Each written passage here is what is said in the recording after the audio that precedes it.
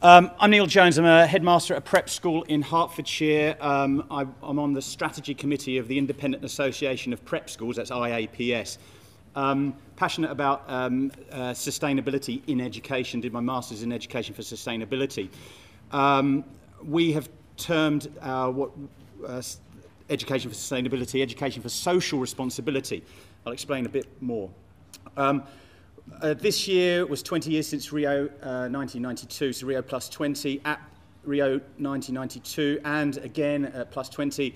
Uh, education was put at the heart of sustainable development, uh, along with other uh, publications in this year, People and the Planet by the Royal Society, and much of what you will read in The Guardian and other, um, other um, uh, forms of media, we, we are putting a lot of pressure on our planet.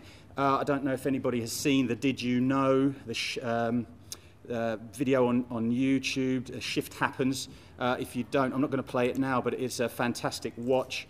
Um, the triple bottom line of sustainability is are those three things economy, society, and, and the environment. So, th- with that as a framework, um, Education for Social Responsibility aims to address the way we teach our children. We have a curriculum that is planned around those and, and other subjects. Um, we have things that go on outside the curriculum um, that aren't planned but are as part of what a school does. Um, we have uh, resources that we have to manage at our schools as well. So, all providing us opportunities to educate for social responsibility, to encourage our children uh, and our staff, uh, our communities to be more responsible about the way they act um, towards each other, towards the planet. These are, are, are five things um, that, uh, broadly speaking, we, we want to provide our children with. We want them to have a well-being. I heard today that um, at the Sustainable Schools Alliance Management Board meeting that uh, we as a country have amongst the most numbers of anxious children about environmental change. Um, we want the children to understand their rights. We want them to know their duties. Oops, I'll go back. We want them to know their duties too, their responsibilities. We want them to adapt intelligent behaviours.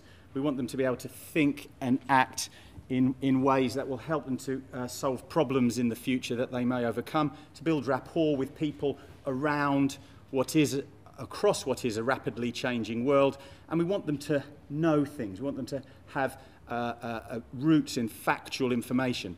Um, because ultimately we want our children to be influential, we want them to be valuable members of society, and we want them to be productive. And if you want to look at storify.com slash EFSR, I've started to curate things online. Thank you very much. Oh, with 15 seconds